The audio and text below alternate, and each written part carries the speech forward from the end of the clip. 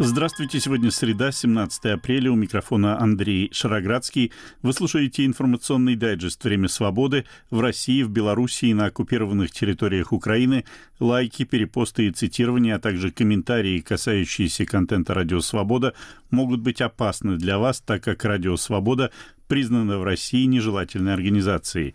Но читать, смотреть и слушать наши статьи, программы и подкасты можно без ограничений. Сегодня в выпуске. Не менее 14 человек погибли в результате российского ракетного удара по Чернигову. По данным издания «Важные истории», террористы, совершившие нападение на Крокус Сити Холл, пользовались оружием, которое сравнительно недавно поступило на вооружение российской армии. Парламент Грузии, вопреки массовым протестам, принял в первом чтении закон о прозрачности иностранного влияния, грузинскую версию российского закона об иностранных агентах – также сегодня.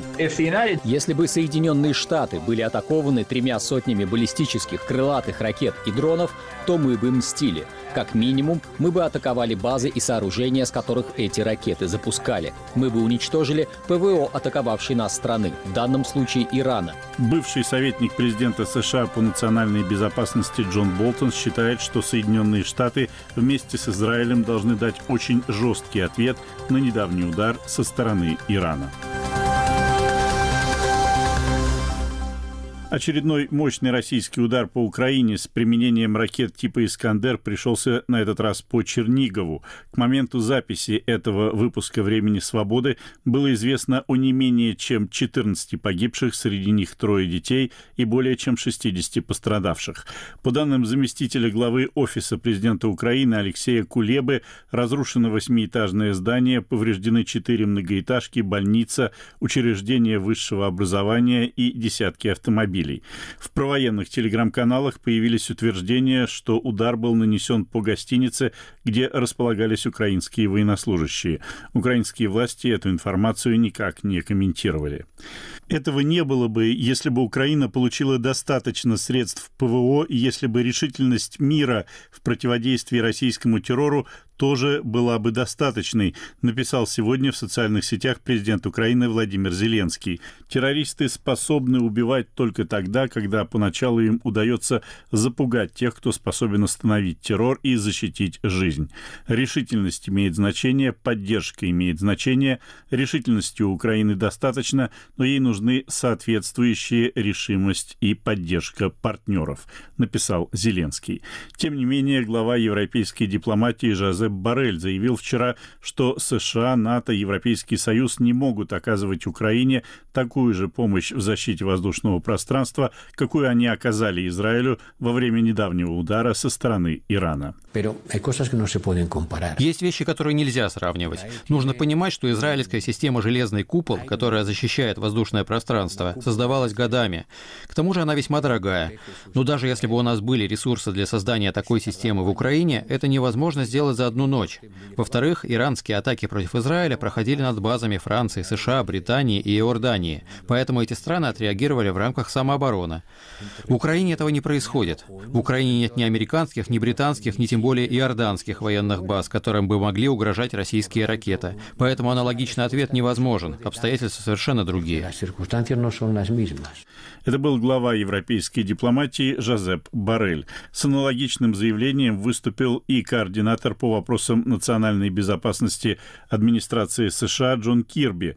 Он также опроверг информацию, согласно которой Иран заранее предупреждал Соединенные Штаты через Турцию, когда и куда он собирается наносить удар в ответ на бомбардировку Израилем здания иранского консульства в Дамаске. Вот что Кирби в частности сказал. Все это категорически не соответствует действительности. Эта атака провалилась, потому что она была отбита Израилем, Соединенными Штатами и коалицией других партнеров, приверженных защите Израиля. Учитывая масштабы этой атаки, намерение Ирана явно заключалось в том, чтобы вызвать значительное разрушение и жертвы. Иранские лидеры запустили так много ракет и других боеприпасов, потому что знали, что многие из них будут сбиты. Цель заключалась в том, чтобы как можно больше таких ракет пробили оборону Израиля.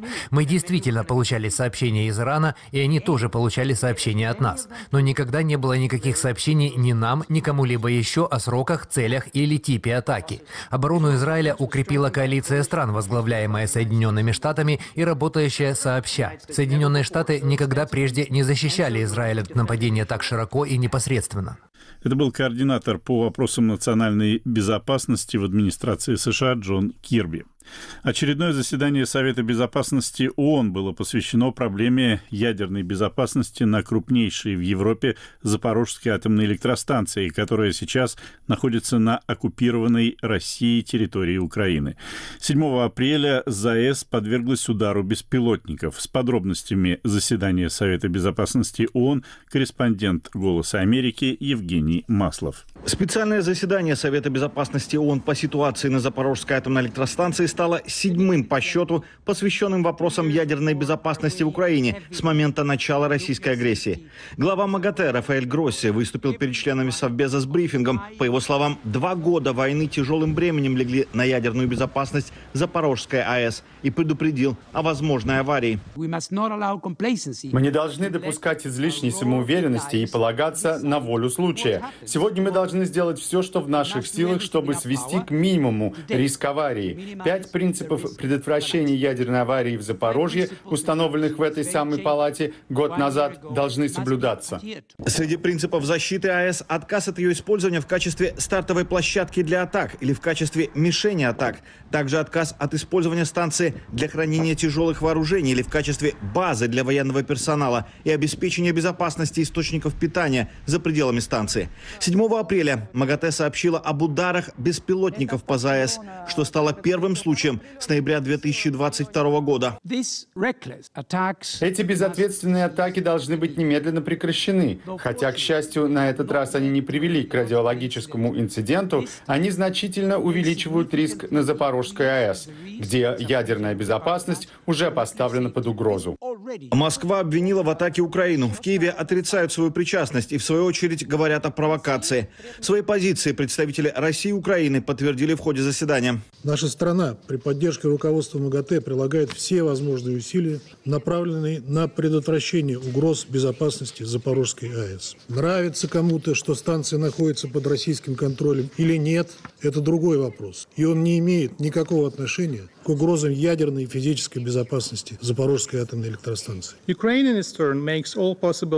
Украина прилагает все возможные военные и дипломатические усилия для обеспечения ядерной безопасности, реализуя при этом свое неотъемлемое право на самооборону в соответствии со статьей 51 Устава ООН. Мы призываем международное сообщество решительно осудить российские провокации на ЗАЭС. Мы подтверждаем, что единственным выходом из сложившейся крайне опасной ситуации является полная демилитаризация и прекращение оккупации ЗАЭС и прилегающих территорий. Сохраняющиеся с учетом войны риски для станции вызывают тревогу международного сообщества, и об этом уже неоднократно заявляли дипломаты в Организации Объединенных Наций. Рафаэль Гросси призвал соблюдать принципы предотвращения ядерной аварии на АЭС, на которых настаивает МАГАТЭ. Он отметил, что работа агентства на этом объекте остается важной, и для ее эффективного продолжения необходим своевременный доступ к станции для оценки ее состояния в дальнейшем. Сообщение корреспондента «Голоса Америки» Евгения Маслова. А в Израиле продолжается обсуждение того, каким должен быть ответ на удар Ирана с применением ракеты беспилотников, который был нанесен по израильской территории в ночь на 14 апреля и был в целом успешно отражен. Самое распространенное сейчас предположение, что ответ Израиля будет, но будет сравнительно мягким, чтобы избежать эскалации конфликта на Ближнем Востоке. Тем не менее, бывший помощник президента США по национальной безопасности Джон Болтон уверен, что Израиль, США и их союзники должны действовать гораздо решительнее и жестче, чтобы пресечь подобные удары в будущем и не допустить превращения Ирана в ядерную державу. Если бы Соединенные Штаты были атакованы тремя сотнями баллистических крылатых ракет и дронов, то мы бы мстили. Как минимум, мы бы атаковали базы и сооружения, с которых эти ракеты запускали. Мы бы уничтожили ПВО атаковавшей нас страны, в данном случае Ирана, чтобы наши собственные ракеты и авиация смогли пробиться к целям. И я думаю, мы бы на этом не остановились. Тем более, что в случае с Израилем они не могут заранее знать, не содержит ли очередная каждая запущенная Ираном ракета — ядерную боеголовку. Израиль очень маленькая страна. Ее бывший премьер-министр Ариэль Шарон однажды предупреждал о возможном ядерном холокосте со стороны Ирана. Полдюжины ядерных ракет, и Израиль перестанет существовать. Так что я думаю, Израиль находится в своем праве и совершенно справедливо, что в его немедленных интересах и, честно говоря, в долгосрочных интересах всего мира принять решение об уничтожении иранской ядерной программы. Лучше сделать это сейчас, до того, как Иран применит ядерное оружие. Они угрожают своим соседям, угрожают всему миру. Израиль в Иране называют маленьким сатаной, а США — большим сатаной. Я вижу в этом прямую связь. И, честно говоря, если бы Израиль решил сделать своей целью иранскую ядерную программу, Соединенным Штатам стоило бы его поддержать. Я думаю, что большая война, об опасности начала которой Байден и другие говорят в своих выступлениях, началась 7 октября. Администрация Белого дома отказывается смотреть на регион стратегически. Противостояние Израиля и Хамас в Газе и попытки хуситов нарушить международное судоходство в Суэцком канале и Красном море – это не отдельные эпизоды, это все дело рук Ирана. Все эти террористические группы обучены и профинансированы Ираном. Иран здесь кукловод. Вот та большая война, которая уже идет. Вопрос в том, сможет ли Иран и дальше держать Израиль в заложниках, угрожая ракетными атаками, или Израиль что-то решит с этим сделать. У меня нет сомнений, что израильтяне сейчас находятся под невероятным давлением. Но я твердо уверен, что если бы США подверглись подобной атаке, то не было бы никаких сомнений в том, как бы мы ответили. Так почему мы отказываем Израилю в праве отреагировать так, как отреагировали бы мы сами? Я не могу предсказать, какое решение в итоге будет принято. Но если попробовать предположить, то я бы поставил на то, что из-за давления США будет выбран вариант наименьшей эскалации. Но я бы добавил вот что. Американская разведка с большой долей вероятности предполагала, что субботний удар Ирана по Израилю будет не таким мощным, каким он оказался в итоге. Так что не думаю, что все эти предсказания ответной реакции Израиля хоть чего-то стоят. Но могу только сказать, что, по моему мнению, ответ последует уже в течение ближайших дней – точно не двух недель, которые понадобились Ирану для подготовки к их удару после атаки на Дамаск. Это был бывший помощник президента США по национальной безопасности Джон Болтон, фрагмент его эксклюзивного интервью телеканалу «Настоящее время». Вы слушаете информационный дайджест «Время свободы». Сегодня среда, 17 апреля. Тему выпуска представляю я, Андрей Шароградский. Боевики, устроившие теракт в Крокус-Сити-Холле, были вооружены автоматами российского производства АК-74 и АК-12, говорится в публикации издания «Важные истории». Причем АК-12 – это автомат, который стал штатным оружием в российской армии только в 2018 году. Вот что автор публикации в важных историях Никита Кондратьев рассказывает о том, как сейчас устроен черный рынок оружия, существенно разросшийся в России и в Европе после полномасштабного российского вторжения в Украину. Здесь сошлось несколько факторов. На черном рынке до этого в основном продавались автоматы и пистолеты, в основном пистолеты, реже автоматы, которые переделаны из охолощенного оружия кустарным способом буквально в гараже. Теперь достать холощенное оружие, переделанное, деактивированное из боевого оружейникам и торговцам сложнее. При этом идет поток оружия, которое сами военнослужащие вывозят контрабандой, либо которое продается там в так называемых ДНР, ЛНР, затем закладками почтой с попутчиками вывозится. И потихоньку-потихоньку, судя по всему, это оружие будет на рынке вытеснять так называемые СХП, то есть э, автоматы которые вернули в боевое состояние, переделав их, выстрелив э, штифты из э, охолощенного оружия. У каждого военнослужащего есть э, оружие, которое записано в военном билете, и, собственно, это оружие он не трогает. Это оружие он, скорее всего, как только получает,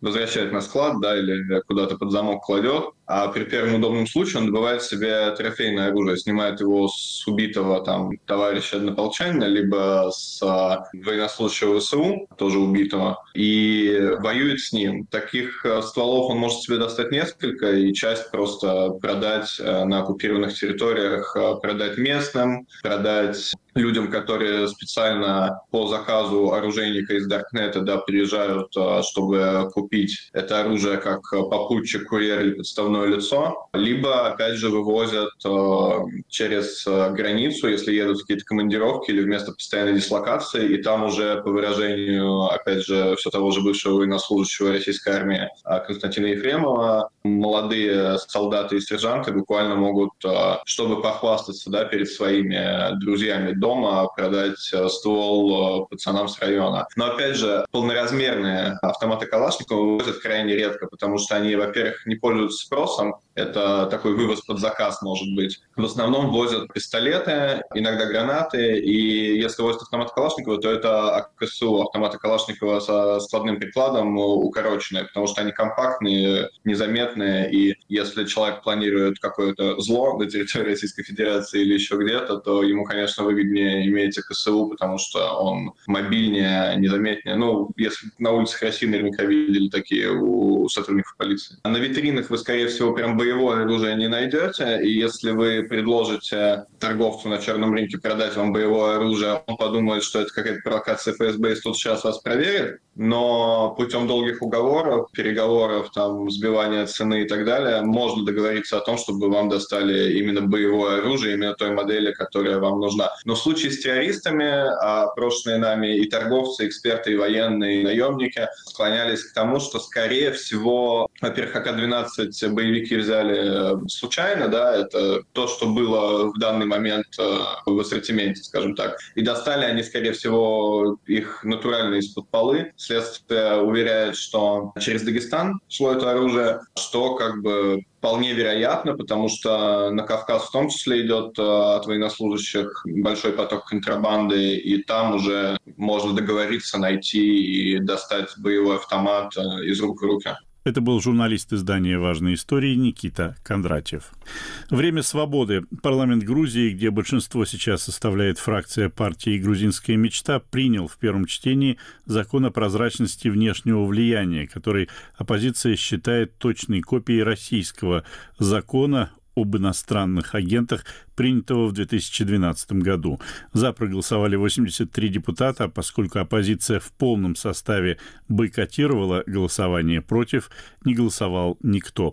Тем не менее, оппозиционеры обещают продолжить борьбу и обращаются к западным партнерам Грузии с призывом жестко отреагировать на попытку возглавляемой миллиардером Бедзиной Иванишвили грузинской мечты установить в стране, как они считают, пророссийский автократический режим. С подробностями Георгий Кабаладзе. У здания парламента продолжается противостояние между демонстрантами, выступающими против закона о прозрачности внешнего влияния с одной стороны и частями специального назначения МВД с другой. В акции протеста участвуют все оппозиционные политические партии, несмотря на разногласия по другим вопросам. Кроме того, против закона выступает абсолютное большинство неправительственных организаций, даже те, которые не имеют никакого отношения не только к политической, но и гражданской активности, занимаются лишь помощью пострадавшим от стихийных бедствий, жертвам семейного насилия, лицам с ограниченными физическими возможностями. Тем не менее, они считают, что принятие так называемого русского закона в конечном итоге приведет к ограничению, а затем и к запрету деятельности всех неправительственных организаций любой направленности первую очередь, конечно, неправительственных организаций, занимающихся правами человека, наблюдением за выборами и коррупцией во властных структурах. Правящая партия «Грузинская мечта», судя по всему, полна решимости принять закон во втором и в третьем чтениях в течение нескольких недель. Лидеры партии власти не скрывают. Их главный мотив помешать оппозиции использовать неправительственные организации в качестве инструмента в ходе решающих парламентских выборов, намеченных на октябрь текущего года. Накануне в ходе стычек у здания парламента полиция задержала 11 активистов. Президент Грузии Саломе Зурабишвили направила специальное письмо президенту Франции Эммануэлу Макрону с просьбой вмешаться в развитие ситуации. Напомним, что Зурабишвили карьерный французский дипломат. Она родилась и выросла во Франции. Другое письмо глава грузинского государства направила председателю Европейского совета Шарлю Мишелю, призвав президента Мишеля рассмотреть на ближайшем заседании Европейского совета с участием глав государств и правительств ЕС вопрос о нарушении грузинскими властями своих обязательств перед Европейским Союзом. Как известно, в декабре прошлого года Грузия официально получила статус кандидата в члены ЕС о том, насколько реальны санкции в отношении правящей партии «Грузинская мечта» со стороны США и ЕС, в интервью «Радио Свобода» рассуждает бывший госминистр по примирению и гражданскому равноправию Паата Закаришвили. Санкции может последовать, скорее всего, от Вашингтона более реально. Там личные индивидуальные санкции Вашингтон больше с охотой, скажем так, э, накладывает. И от Вашингтона я думаю, что может быть такое, потому что явно то, что делает грузинская власть, это в разрез интересов грузинского общества, в разрез против грузинской демократии. Люди, которые защищают. Америка все-таки форпост демократии. У них есть моральное и право, и обязанность защищать демократию, там, где она существует в естественном виде, как у Грузии. Поэтому, конечно, я допускаю на индивидуальном уровне какие-то санкции в вопросах там виз или там финансовых операций по отношению отношении американских банков и так далее не исключено. Но какие-то более против государства или против властей как таковой, я думаю, что санкций все-таки не будет, потому что внутренние дела Грузии. Против правительства вряд ли будет санкции, но против индивидуальных людей, скорее всего, персон будет э, санкции там, по поводу передвижения их, их семей, чтобы они почувствовали, что Западу неприемлема их э, индивидуальная, скажем так, политика. В среду экс-президент Михаил Саакашвили выступил на своем судебном процессе процессе прямым включением из больничной палаты клиники Вивамеди. Бывший президент призвал участников акции протеста сплотиться, не уступать и бороться до конца. Саакашвили не исключил, что в будущих выборах оппозиция будет участвовать единым фронтом, единым избирательным списком. Георгий Кубаладзе для Радио Свобода, Тбилиси. Ну и напоследок поздравления с днем рождения.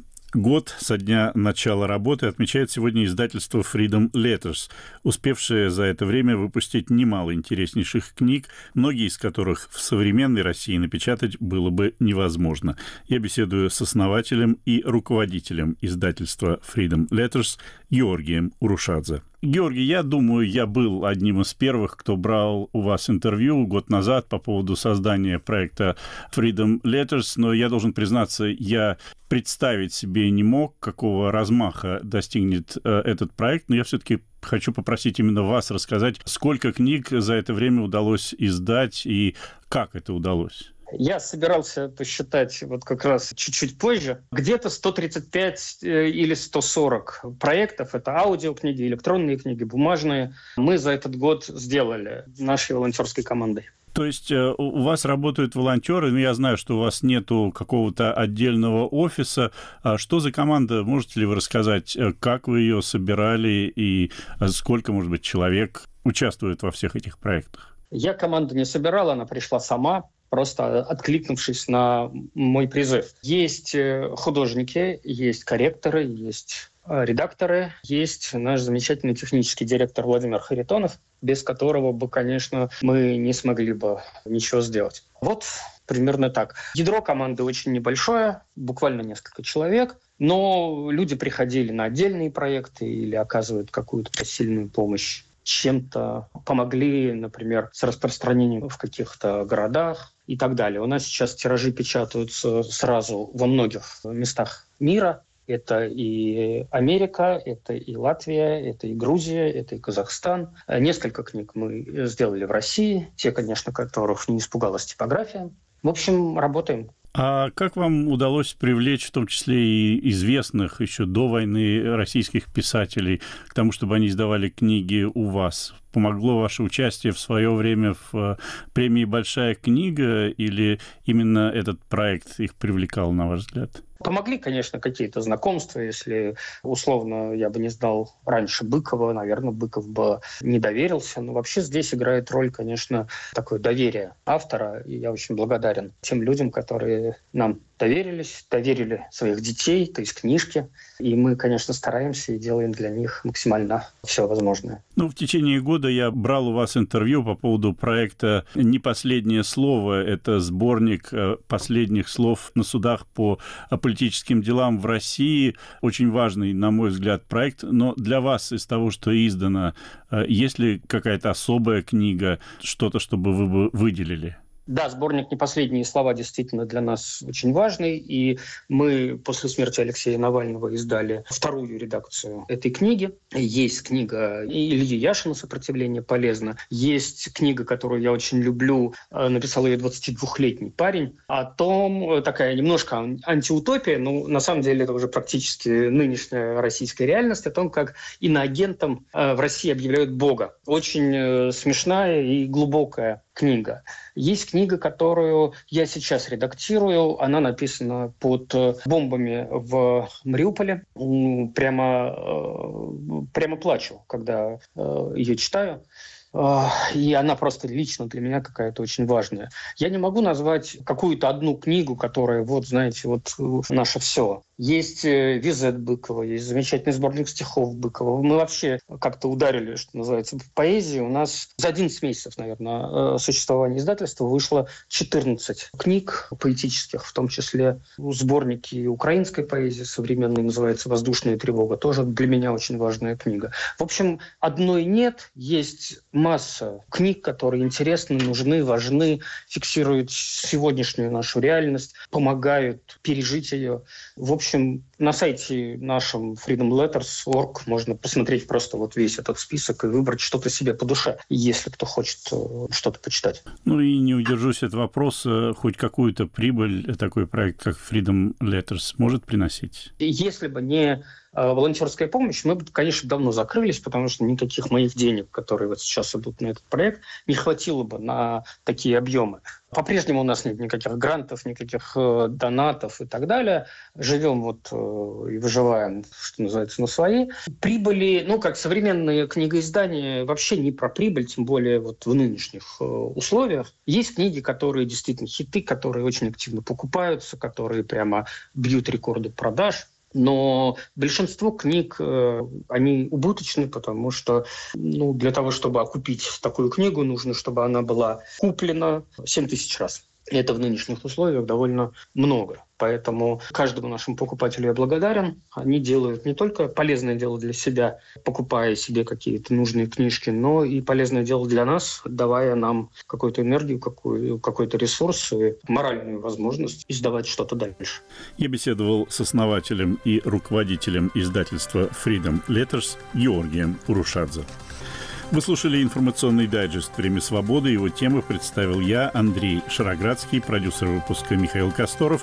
Наш подкаст можно найти и послушать на сайте «Радио Свобода», в телеграм-канале «Время свободы» и на популярных платформах подкастов. У меня на сегодня все. До свидания.